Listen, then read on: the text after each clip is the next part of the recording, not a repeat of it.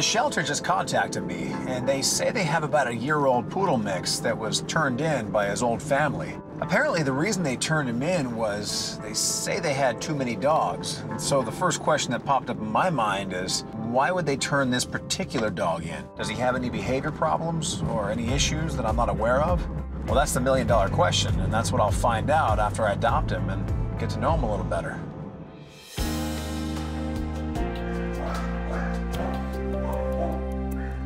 Hey, is that you? Why are you so shy? Come here, come say hi. All right. Have it your way. I'm not gonna hurt you, don't worry. Come here, come here. One-year-old Chester is too timid to approach his visitor. So Brandon introduces himself slowly to make sure the dog feels safe. Little thing? Tell you what. Let me just get a little closer. What do you say you and I go for a little drive? Come here. Come on, I'm not gonna hurt you. I'm not gonna hurt you. I know. Okay, okay, you ready? One, two, three, and look at that. Gotcha. Let's get out of here.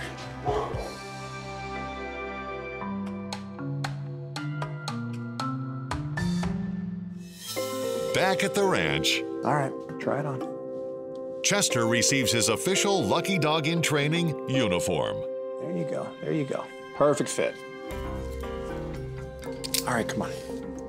Let's go meet the pack. All right, guys, let him breathe. Let him breathe. Go on, say hi. Make friends. Welcome to the Lucky Dog Ranch.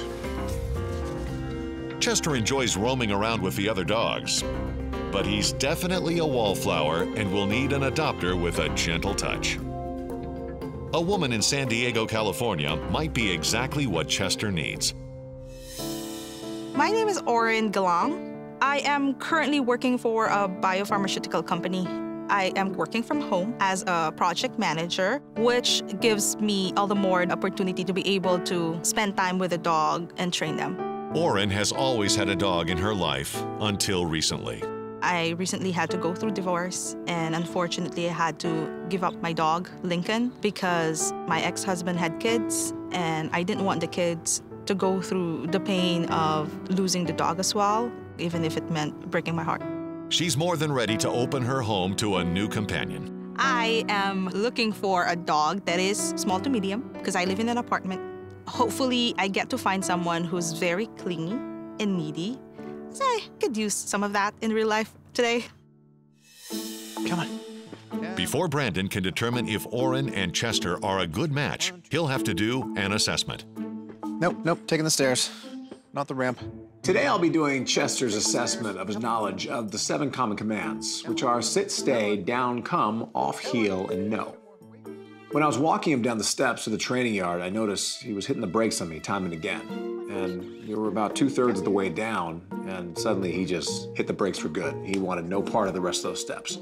And the second we got into the training yard, he was shutting down on me even more. Come here. It looked like he was getting spooked by pretty much everything. Not all shelter dogs are going to come out of the shelter ready to work. Chester's telling me right now that he wants no part of this. I'm not going to force you. So, this assessment, it might have to hold off for a while. Come on. Very good boy. Excellent work. Hup, hup. Very good boy.